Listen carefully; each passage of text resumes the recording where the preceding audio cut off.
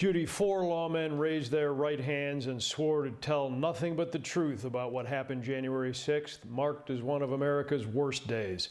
Since then, the truth has been in short supply, and these officers who say they're fortunate to have survived the violent uprising tonight are trying to set the record straight. The indifference shown to my colleagues is disgraceful. D.C. Metro Police Officer Michael Fanone is livid that any politician would downplay what he calls the medieval battle scene that happened here at the U.S. Capitol that January day, when he says violent intruders kept repeating, kill him with his own gun. Instead, some of the attackers beat him unconscious, he says, triggering a heart attack and a traumatic brain injury. They beat me.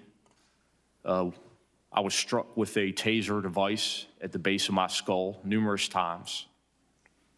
And they continued to do so uh, until I yelled out that I have kids. These events of January 6th now under investigation by this select committee, primarily comprised of Democrats. Illinois Congressman Adam Kinzinger of Kankakee is one of two Republicans on the panel, with Wyoming's Liz Cheney.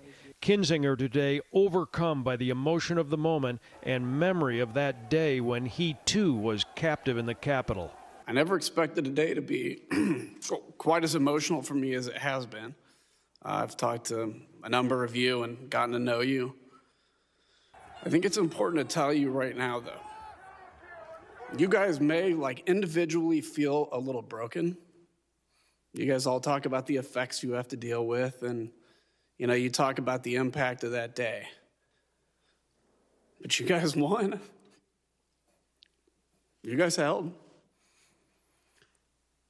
You know, democracies are not defined by our bad days.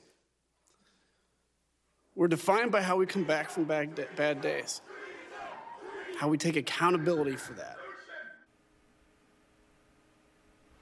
Kinzinger has already been targeted for punishment by national Republicans, along with Cheney, for their break from the GOP to join that January 6th committee. The political flap playing out after House Democrats rejected five Republicans that the party wanted on board, and now a committee boycott by most Republicans. Next up for that committee, expected subpoenas to top officials of the Trump White House to find out what they knew about January 6th and when, subpoenas that could reach to the former president himself, setting up quite a congressional power play.